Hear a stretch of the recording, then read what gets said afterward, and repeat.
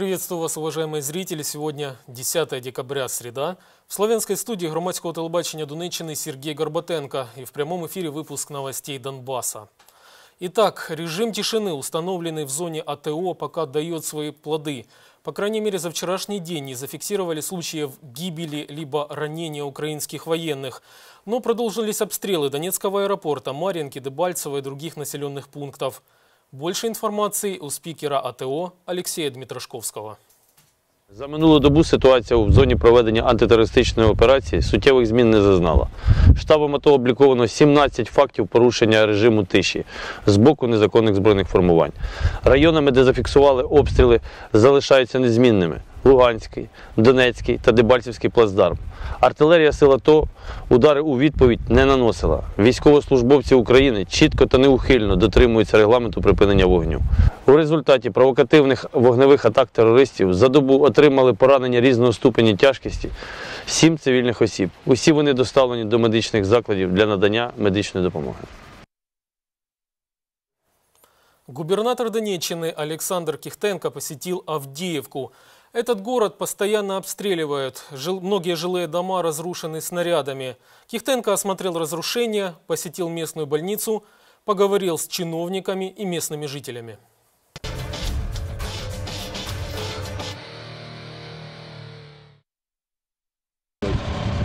Когда вы ее остановите, эту войну? Мы уже хо- хотим спокойно жить. У нас А нету когда у ни нас дети в школу начнут ходить? Когда их можно домой Вы забирать? думаете, что кто-то другой не хочет мирной жизни? Все хотят. Вы знаете, что планируется опять раунд следующих переговоров в Минске. Будем договариваться. Ну, так минских же ж надо как-то придерживаться. Что одной стороне, что ж другой. Ну что ж люди-то страдают, дети умирают, ребята. Это ж Вы мне скажите, проблема. Есть какие-то претензии к той стороне, украинской стороне? Да у нас проблемы и к той стороне, и к этой стороне. Какие, скажите конкретно? Я уже не буду возвращаться то, что было три месяца назад, и не буду рассказывать, что Сейчас. тут было. Сейчас. Я не хочу ничего говорить. Обратка летит с Эта одной и с другой стороны. знает. Одни, хочу одни с одной стороны стреляют, Знаете, другие в обратку с другой стороны. город, и я бы не сказал, что с той стороны летит какая-то обратка. Есть подозрения, но это мы перепроверим одного дома, а больше нет. Ну вот у меня А сегодня стороны, брат. да, точно. У меня сегодня брат проходил именно по городу и тоже ходил вот это вот все дело фотографировал, смотрел. И говорит, такое ощущение, что да, он может вот даже на фотоаппарате показать, что летело как бы даже с той стороны. ездили, смотрели сами на это все. Мы Чапаева смотрели. И Чапаева, да, я посмотрел сам. Мы в этом были, мы смотрели. да. Именно в этом э, доме я и веду речь. Мы разберемся, пришлем сюда военную службу правопорядка. Они пройдут расследование и разберутся. И вообще мы планируем здесь установить военную комендатуру для того, чтобы здесь был порядок. Так что будем вместе наводить За сутки порядок. сколько людей погибло, сколько детей и всего остальное в больницах. Посмотрите, что творится. Были мы сейчас Семья у нас осталась без, без матери, трое деток. главным врачом, да. Это плохо. Ничего бы не Причем здесь референдум? Референдум был не для того, чтобы уйти из Украины, а для того, чтобы наши налоги оставались здесь. А кто там что уже вывернул, перевернул?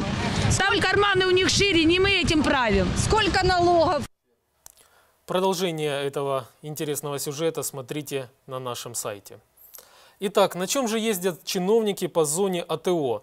Замес- Заместитель председателя Донецкой областной государственной администрации Михаил Нечипорук передвигается по зоне боевых действий на дорогом автомобиле. Согласно налоговой декларации Нечипорука, в 2013 году он заработал 110 тысяч гривен. А вот 9 декабря на этом автомобиле также передвигался и председатель Донецкой областной государственной администрации Александр Кихтенко. Количество переселенцев из зоны боевых действий резко возросло. По информации СНБО, только за минувшие сутки зону АТО покинуло более 7 тысяч переселенцев. В частности, э, в сообщении Совета по нацбезопасности и обороне заявляется следующее. В связи с увеличением потока вынужденных переселенцев Минздрав усиливает во всех регионах Украины дежурство бригад экстренной медицинской помощи, создание резерва кроватей и необходимого количества лекарственных средств. Особое внимание будет уделено обязательному предоставлению своевременной и бесплатной медицинской помощи детям, беременным женщинам, инвалидам и пожилым людям. А пока люди выезжают, на оккупированных территориях проводят ярмарки. Одна из таких прошла в Макеевке. Посмотрите на очередь за продуктами.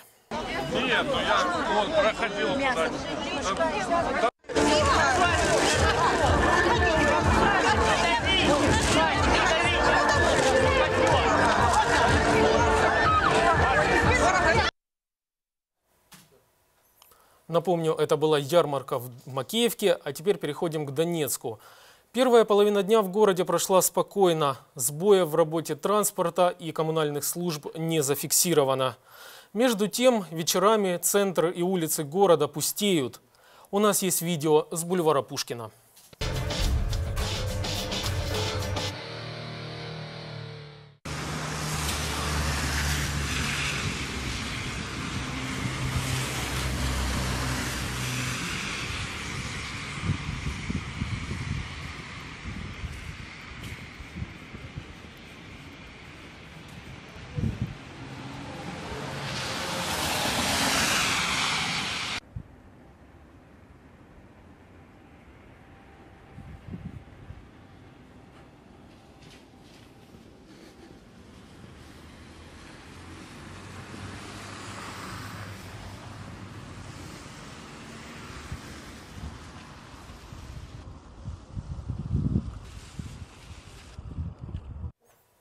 Вот такой вот бульвар Пушкина вечером в Донецке.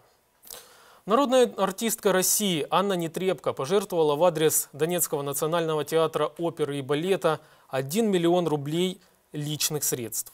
Далее цитирую артистку. «У меня в Донецке есть товарищи, молодые музыканты, мы общаемся. Они рассказали, что театр частично разрушен, в театре холодно, но они все равно выходят на сцену. Это сказала Анна Нетребко. А вот деньги принял Олег Царев, который называет себя руководителем парламента Новороссии. Журналисты громадського телебачення Донеччини 9 декабря осмотрели здание театра Донбасс-опера и не обнаружили ни одного повреждения. А вот для того, чтобы не умереть с голода в Донецке, люди вынуждены стоять в очередях за едой. У нас есть свежее видео.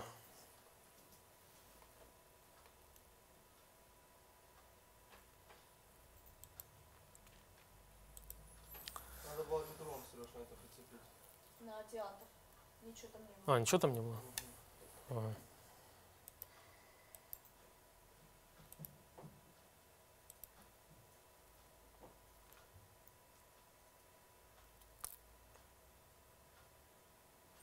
Я думаю, можно выключать, да?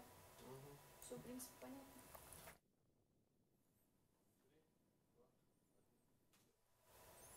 Вот такая вот ситуация в Донецке с продуктами. Чеченские боевики показали себя и рассказали, сколько их воюет на Донбассе. У нас есть видео.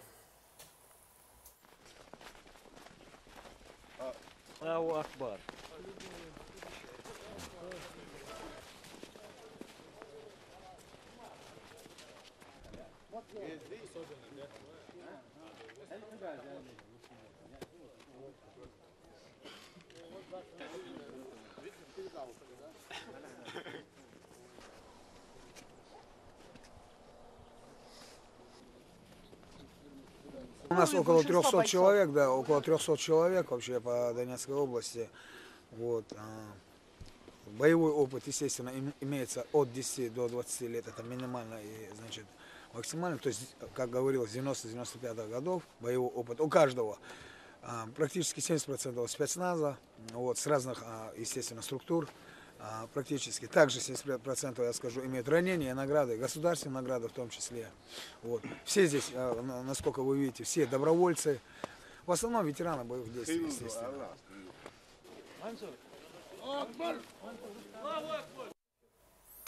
У нас есть видео из Луганской области. Человек, называющий себя комендантом Первомайска, Евгений Ищенко, записал обращение, в котором критикует руководителя ЛНР Игоря Плотницкого. Давайте смотреть.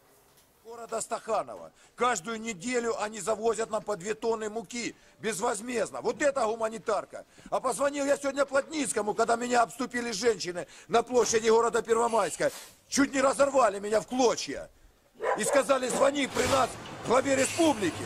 И пусть он ответит на вопросы, которые касаются именно людей города Первомайска. Именно людей города Первомайска. Где обещанная пенсия? Где обещанная заработная плата? Где обещанная гуманитарная помощь? За все время, за все время.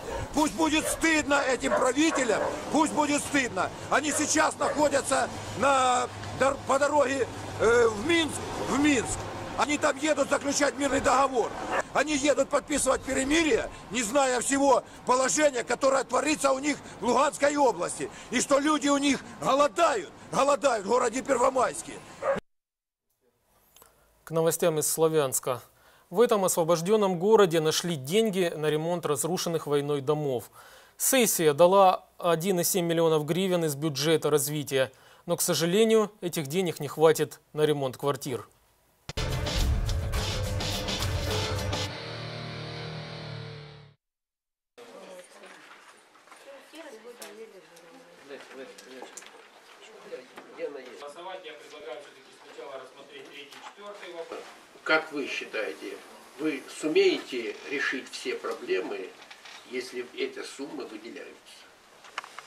Этих сумм достаточно для того, чтобы э, сделать э, те э, работы, которые обеспечат проживание тех же жителей в этом в данном доме. Но планировалось в смете и восстановление квартир самих жителей.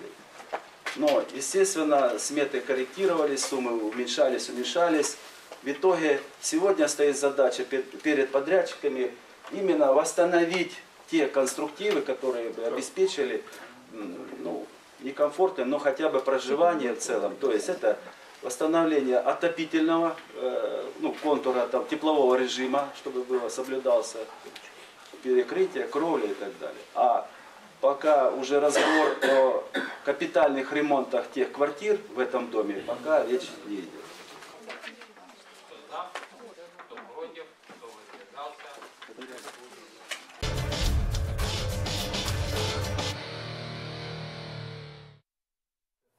Также на этой самой сессии депутаты внесли изменения в положении о присвоении звания «почетный гражданин города Славянска». В частности, они обговорили э, те дела, за которые могут лишить почетного звания. Я позволю себе зацитировать одну графу. «Осуществление гражданином, который был удостоен звания почетный гражданин города Славянска, пропаганды или действий, которые способствовали расколу территориальной целостности, нарушению суверенитета, независимости и национального единства Украины». Кстати, под эти требования э, громада Славянска думает, очень здорово подходит гражданин Кобзон. Итак, еще одна новость из Славянска. Бывшего руководителя городского отдела образования Александра Зубарева требуют проверить и отстранить. Напомним, он работал во время оккупации города ДНР, а теперь является сотрудником областного департамента образования Донецкой областной государственной администрации.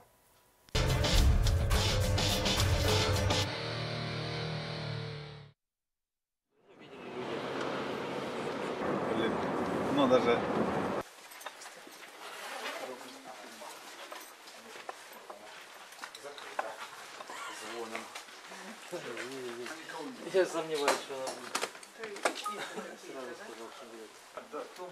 А, дайте візиточки теж. Департамент освіти і науки облдержадміністрації просить вас е, звільнити Зубарєва Олександра Вікторовича з посади начальника відділу міської ради і за переведенням як такого, що успішно пройшов конкурс до департаменту освіти і науки. Яким чином він пройшов е, успішно конкурс?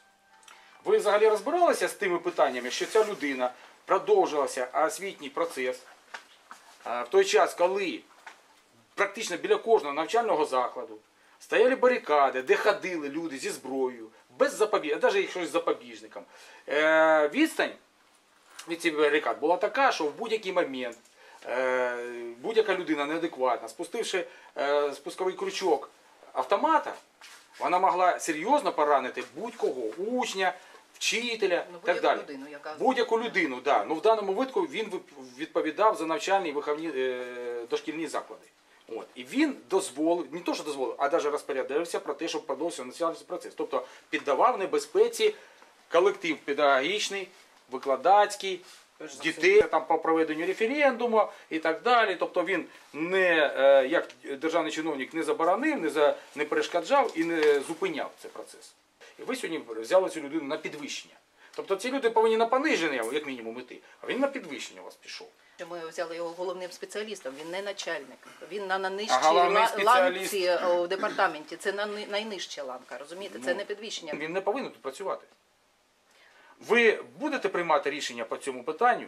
Якісь? Ми, ми обов'язково розглянули ми всі е, про те, е, що ви мені зараз розказали, всю вашу заяву. Ми уважно вивчимо і приймемо рішення. І по запитам. Звичайно, ми шукаємо собі кадри, які зможуть нам допомогти. Враховуючи той зрост, те, чому як він працював за 4 роки, починаючи з самого початку, от, ну, в нас не виникало питань саме у обласного департаменту освіти щодо його професійних якостей. Але враховуючи ті події з квітня і по липень.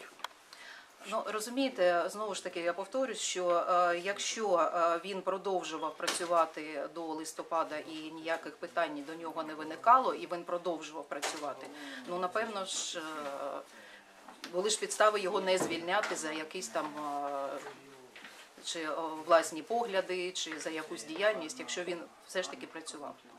Але- Це, це не наша компетенція звільняти людину за якусь там діяльність, яка не, не відноситься до освіти. Але ви врахуєте громадську думку? Ну, звичайно, ми завжди враховуємо громадську думку. І там розумієте небезпеку чи не розумієте небезпеку.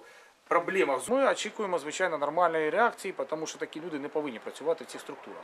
І це буде сигнал, якщо ми, е, якщо е, цей департамент не прийматиме ніяких рішень, якщо не буде ніяких е, зрушень, то це буде сигнал іншим негодяям, що значить вони не будуть покарані. А значить, ми можемо чекати другу хвилю, третю хвилю оцих всіх негативних подій, які були там. От. І тому я сподіваюся, що там більш-менш розумні люди. Якщо А якщо нерозумні, а які якщо ваші нерозумні дії? люди, значить будемо робити ну, поки що попереджувальні пікети, так же само, як ми робили, наприклад, в міськвиконкомі. От, ну, а далі будемо дивитися за обставинами. Ну, не хотілося б е, до більш радикальних методів е, прибігати, але якщо прийдеться, то будемо змушені, і, значить зробимо.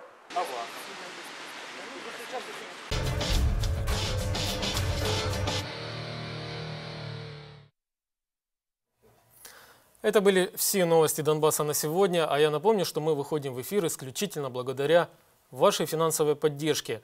Как нам помочь, вы можете узнать, зайдя на сайт громадське.dn.ua.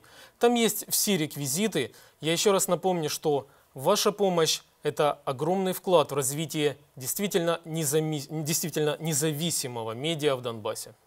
Увидимся, но не переключайте, впереди еще много интересного.